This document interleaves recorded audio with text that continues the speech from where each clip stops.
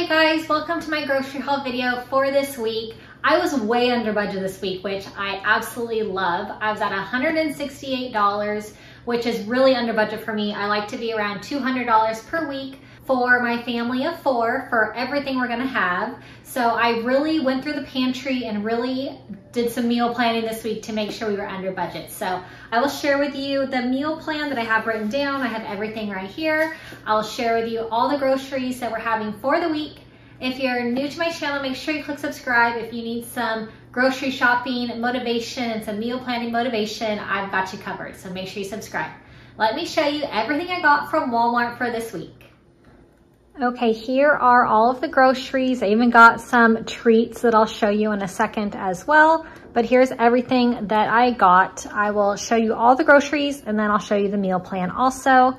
So starting over here, two things of almond milk. This is what my husband uses for his protein shakes. I got regular milk for um, the kids and for cereal and whatnot. We have our chicken for the week. I got two packs of chicken last week, so we have a little bit left over. So just one pack this week. I got a big thing of ground turkey. This is three pounds. I pre-make our turkey meat or our taco meat. We do ground turkey uh, with taco seasoning. I pre-make it and then I freeze it in containers so that it's super easy to have tacos when we have them. I just have to microwave the meat and then we're ready to go, which makes it really convenient on our busy nights when we have practices and stuff. So three pounds of ground turkey, some lettuce. We're gonna do some salads. Um, two things of this Two Good yogurt. It is uh, really good. Two grams of sugar per serving. This is the vanilla flavor. And then I like this plain not-fat yogurt as well. So one of those some frozen edamame. I have been really loving edamame lately. I got some broccoli here. Zucchini has been my favorite vegetable lately, um, but we do a lot of both broccoli and zucchini. I got two different kinds of cucumbers. I really want my kids to start eating cucumbers. My nephew eats them like they're going out of style. So I'm hoping that my boys will start eating them. So two different kinds of cucumber. Some salami that I put in the kids' lunches for school.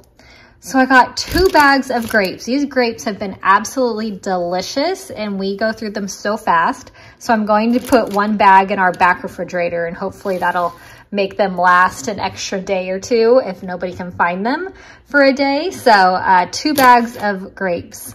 Some croutons for Caesar salad night blueberries, lots of bananas. We go through a lot of fruit. So lots of bananas, got lots and lots of apples over here. I've been getting the Pink Lady apple. Um, they are just so yummy. Avocados, we go through a lot of avocados. Um, this is the sausage that my kids like with their breakfast. It's the Vermont maple.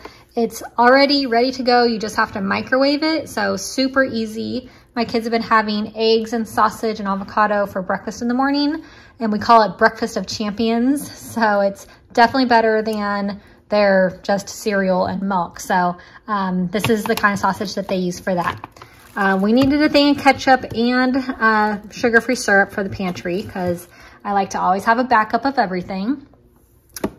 Some popcorn, we do a lot of popcorn. Um, snacks for snacks. Bread for my kids, sandwiches for school. I got these dehydrated marshmallows. I'm going to be doing a caramel apple uh, board treat. I will show it. I will, of course, make a video for you and share it with you. But I got these little mini marshmallows for that. And then um, I needed some evaporated milk. And I haven't gotten this fat-free version before, but so I wanted to get the fat-free version this time. I needed some oil for, I do lots and lots, if you guys have been around my channel, lots and lots of cake mix cookies, and so I've been going through the oil. I got two boxes of cake mix here. It is going to be Zachary's birthday in a few days, and so I'm gonna make two different kinds of cupcakes for his party. And I got these fun, they're kind of Halloween sprinkles. There's lots of different kinds. This was only $2.92 for all these different versions of sprinkles.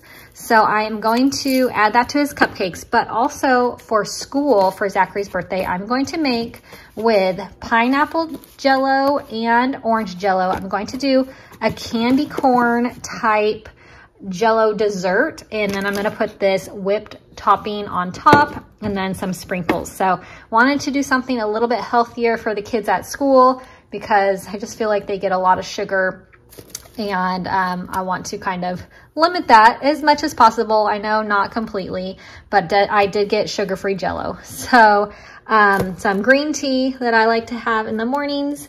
This lavash bread, it is really good. I use it for wraps for lunch. Absolutely delicious. I like to do like a little chicken Caesar wrap in there, or you can put all kinds of different things. I do turkey and cheese also with a little bit of lettuce. Super good, these little wraps, and they're really healthy. They're low fat, high in fiber, super good for you. Um, I got this big thing of Gatorade. It's for the birthday party that we're going to have for Zachary. Um, so this is the Gatorade Zero. And then I got these candy corns. They're going to be for another treat. So I definitely have quite a few treats going on this week and all of the groceries and all of everything that we're having. Here's my meal planning book and I have written down all of the meals that we're going to have that I'm going to make. So for dinner, planning out all of our dinners for the week like I do every week. So Monday, we're gonna do chicken Caesar salad. Tuesday, we have soccer practice, so we always do super quick dinners.